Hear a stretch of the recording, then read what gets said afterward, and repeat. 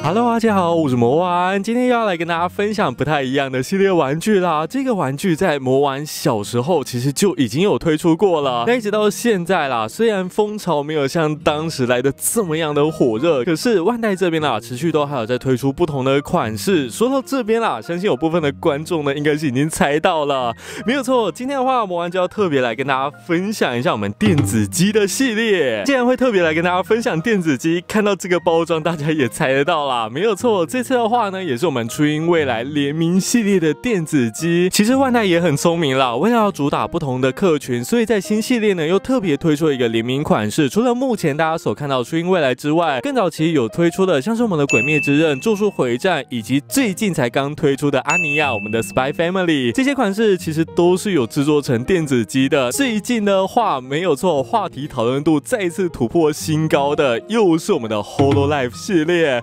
上个礼拜啦 p i c o l a 正式跟万代呢联名推出了一台全新的电子机，当然也是属于我们日本区域 PB 商店限定的商品。一开卖呢，魔安记得不到几个小时的时间就是完全完售。那也因为讨论度是非常非常的高啦。三天之后呢，万代这边又再一次宣布即将要二度再贩。魔安啦是有跟到预购的，可是实际上会不会砍单也很难说。目前的话都还是处于预购的阶段啦，等到时候正式发货呢，魔。有收到，当然也会再来跟大家做后续的开箱。回到今天的重点啊，先稍微跟大家介绍一下这个电子机。其实最早在一九九六年呢，就已经有先推出第一款的这个电子机。呃，严格来说啦，应该算是电子宠物啦。只是呢，当时的这个造型是很像一只小鸡，所以台湾这边呢都是叫做电子机。当然也因为正版毕竟是比较昂贵一些啦，所以台湾呢当时是有推出很多的这个盗版的商品。魔幻记得以前在书店购买也是只要九十九块，可是魔幻印象当中啊，这个盗版的机种呢，养到一定的阶段就会非常非常容易死掉，不知道是不是跟这个晶片设计有一点点的关系。但不管怎么样啦，小时候呢，基本上每一个人都曾经养过这样子的电子宠物。那一直到现在隔了二十几年的时间，其实这个电子宠物的系列呢，是持续都有在进行更新，一直到最新版本的，现在是已经有推出彩色画面以及触控方式的这种电子机啦。整体的游玩过程呢，也就会更加的丰富。万代推出这样子的联名机，都还比。较属于这种实验性质的商品啦，所以呢，内部的规格都不会到太高。最主要画面的部分啦，也都还是以黑白色的方式来呈现。至于里面能够凸显出来的效果到底怎么样，当然还是要实际开机之后才会知道。最后的话，也跟大家稍微分享一下价格的部分啦。魔安这次购买的价格，也就是在台币六百七十块。一般的联名机种大概也是落在这个价位。但如果你有想要养到正规的电子宠物，定价上面的话，到一两千块，甚至到三四。千块都有，魔安个人还是会建议大家啦，真的有兴趣，但还是先挑选这种联名系列的，先游玩一下，真的有喜欢啦，再去购买这种比较昂贵的就好。那这边的话，魔安也就不再多说了，我们就赶快开机啦，来看一下里面展示的效果。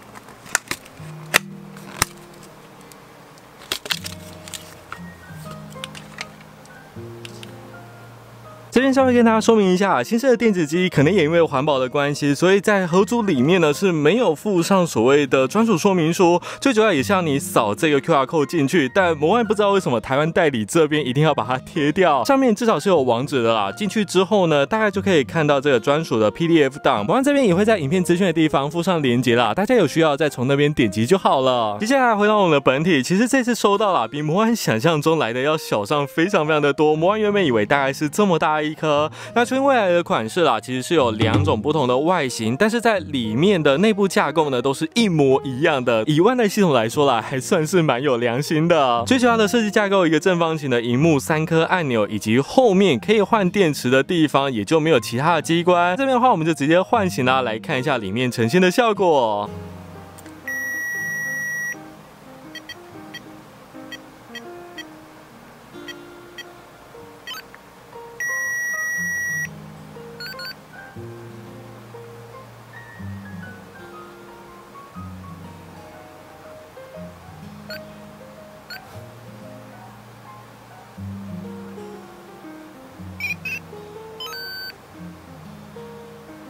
唤醒之后，它的设计动画是非常非常的可爱，放入一个光碟片啦，就很像是你安装初音这个软体一样。最主要的游玩方式啦，其实也是透过互动方式来让我们的初音未来成长。那下面三个按钮的话，分别就是按钮 A、B、C，没有错，说明书上面就是这么写的。A 按钮按进去的话，这边就有很多不同的互动选单，每一个选择之后呢，都会有不同的效果。那在 B 按钮这边呢，最主要就是用来确定以及呢呈现时间的。退回到主画面，我们按 B 按钮，那这边就会直接呈现目前的时间。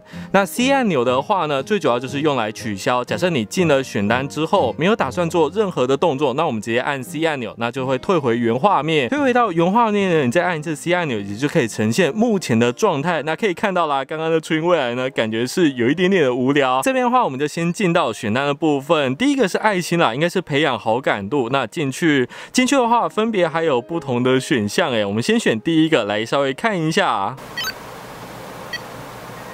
这个应该是练习唱歌的模式啦。那我们再选下面的一个。这两个模式应该比较算是对应状态使用的啦。如果你的初音未来在状态上面呢有呈现不好的状况呢，可能就要透过这两个来去消除。接下来我们一样按 A 按钮进到第二个的选单，再进去的话，这个就算是一个迷你游戏。目前的话呢，一样是有三种的游戏可以游玩。第一个的话，唱歌游戏，其实它就比较算是对应按钮。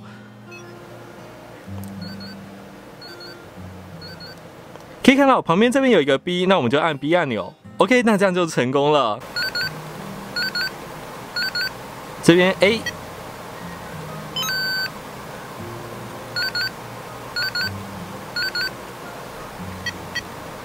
有这样就成功了。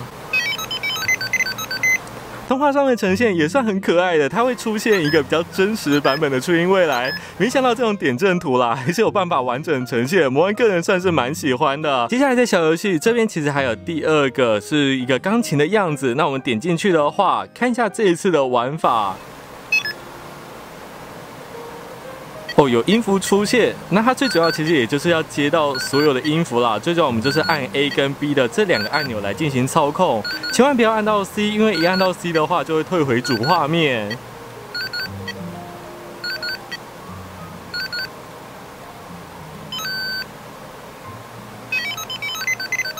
OK 啦，那这样子就算结束了。那我们来看一下状态啦。目前来说的话呢。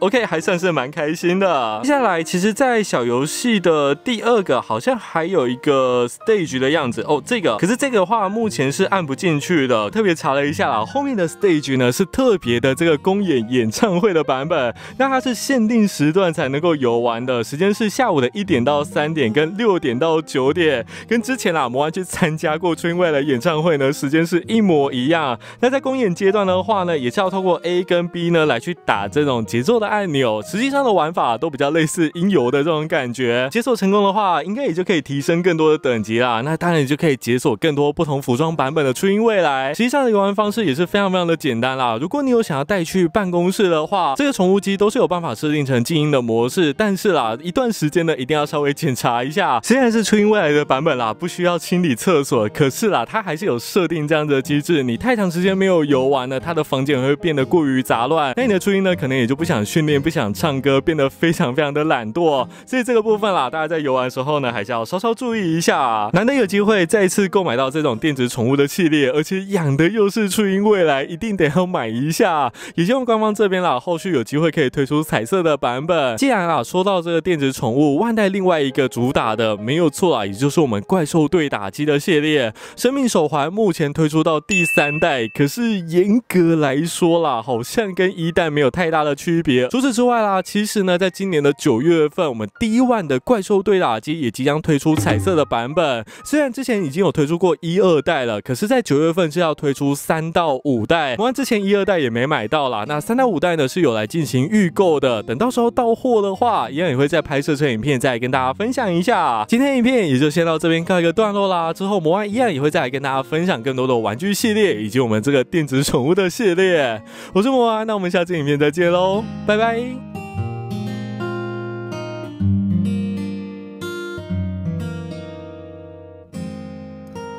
赶到今天第三天啦，终于出现一个不同服装版本的初音。那这个的话，应该是二零二一年演唱会版本的初音啦。头上的两朵花算是蛮好认的，不过它蛮有诚意的地方是，如果你的初音是最佳状态的话，按一下这个资讯显示的地方。可以看到上面的图像呢，也会因此而改变。设计上来说，算是蛮细心的啦。当然，魔王个人也会很期待呢，之后可以再养到不同的服装初音，又或者是呢其他的角色。